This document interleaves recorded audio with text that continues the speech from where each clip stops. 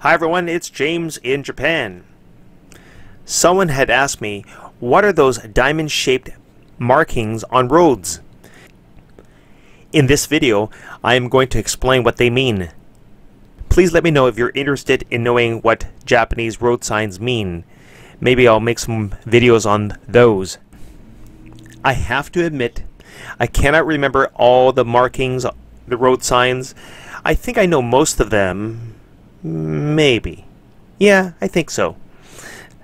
You know, I've been driving, riding in Japan for a long time, so maybe I can explain them to you. I am in Akashi City, near Okura Kaigan. Kaigan means coast. And to my right is a yellow center line. You are not allowed to pass over it unless the police or construction workers tell you to do so.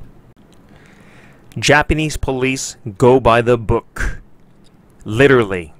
So don't break any traffic rules. Perhaps I'm going to talk about solid lines. Solid lines on the road.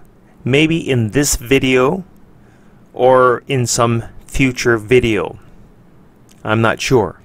I'm going to make a right and you'll see those diamond shaped markings on the road right about there up ahead.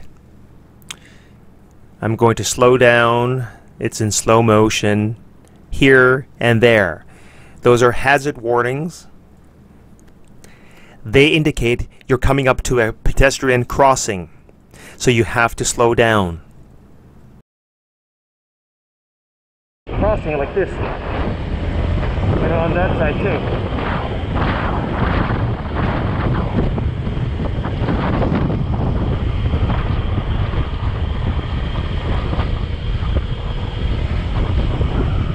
And up ahead as well.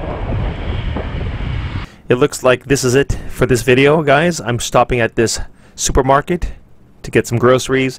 Thank you for watching and drive safely. Bye.